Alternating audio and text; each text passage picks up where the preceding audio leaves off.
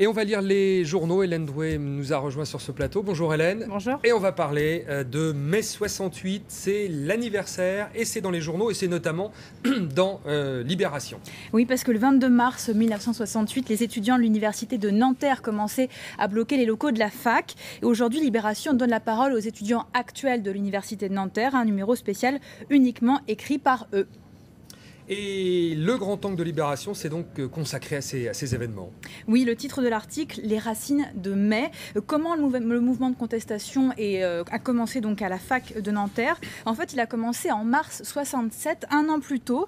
Euh, les étudiants hommes voulaient entrer dans les cités U qui étaient réservées aux filles. C'était interdit à l'époque. C'est comme ça que tout a commencé. Eh en oui, fait. ça les garçons tout. voulaient rejoindre eh les filles. Oui, ça, ça, commence toujours comme ça. Sauf qu'ils se sont fait violemment refouler par les policiers. Puis le, le... Pas par les filles, par les policiers. Non, hein. alors ça, je ne sais pas.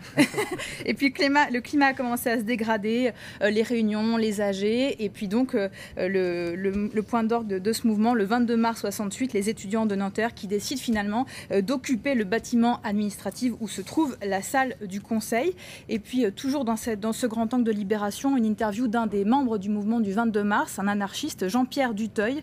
ce qui a motivé les étudiants du 22 mars, selon lui, c'était le refus de devoir faire plus tard ce à quoi on les préparait, devenir des cadres. Voilà.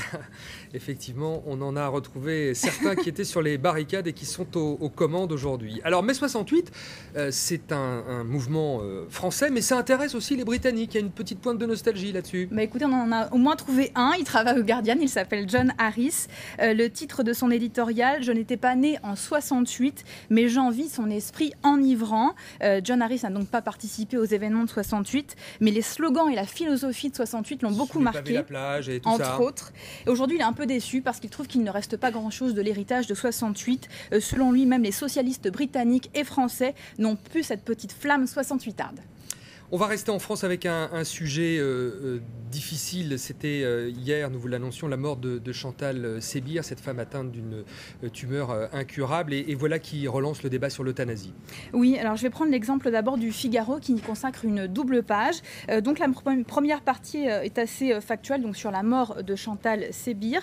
Mais il y a surtout deux éclairages intéressants. Un, c'est sur les euthanasies clandestines dans les hôpitaux français, pratiquées à cause du manque de formation des médecins sur ce sujet et puis à cause du manque de règles claires. Et il y a un autre éclairage, c'est sur les législations, toujours sur l'euthanasie dans les autres pays, notamment les Pays-Bas, qui a été le premier à légaliser l'euthanasie. Et puis il y a la Belgique, le cas de la Belgique aussi, où c'est autorisé depuis 2002. Oui, euh, des patients qui sont euh, conscients peuvent en faire la demande, euh, volontaire, réfléchie et répétée. C'est à lire dans euh, Libération, qui prend l'exemple en fait de l'écrivain Hugo Claus, euh, qui est mort hier. Il a choisi de mourir hier. Il était atteint de la maladie d'Alzheimer.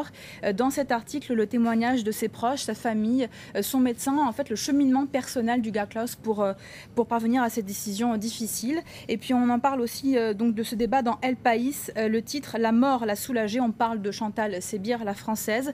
le journaliste explique notamment que le poids de l'Église catholique en Espagne fait que tous les dirigeants politiques en fait n'osent pas aborder la question.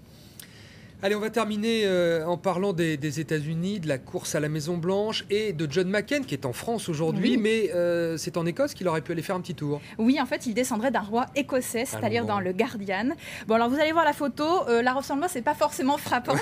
oui, faut, mais effectivement. Voilà. Bon. En fait, c'est l'éditeur de John McCain qui insiste. Il descendrait de Robert de Bruce qui régna au XIIIe siècle. Les généalogistes écossais n'y croient pas du tout. Et puis, on, on apprend aussi que selon sa famille, il descendrait de Charlemagne. On verra s'il en parle aujourd'hui à Nicolas Sarkozy. Oui, qu'il rencontre à euh, l'Elysée. Voilà. Merci Hélène, c'était la revue de presse sur France 24.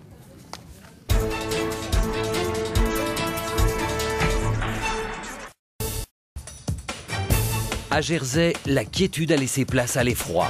Dans un ancien orphelinat reconverti en foyer pour enfants difficiles, un crâne a été retrouvé sous une dalle de béton. Des dizaines de pensionnaires auraient été maltraités et abusés sexuellement entre les années 50 et 80. Depuis, les enquêteurs ont multiplié les découvertes macabres. Traces de sang, menottes, salles de torture. France 24 a enquêté sur cette île ordinairement paisible.